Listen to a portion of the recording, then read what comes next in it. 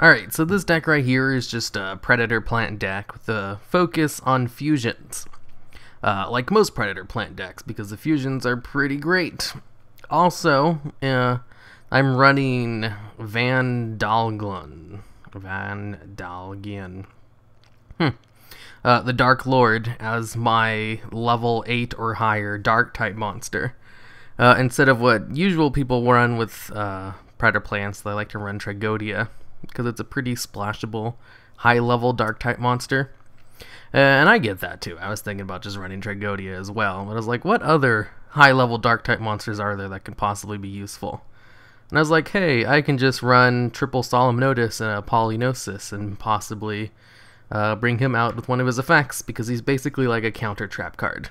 If you are able to counter the effect of a card, you can special summon from your hand, and he has a different effect depending on what kind of effect you were able to counter. Uh, and his monster effect is pretty great. So, Solemn Notice bringing him out, you could special summon a monster from. Is it either player's graveyard? No, it's just yours. That's still pretty good, though. Uh, and you also need the high level Dark Monster in order to go into. Uh, what is it? Greedy Venom Fusion Dragon, who's great. If he's destroyed, he has like a an absolute zero effect where he destroys all other monsters on the field.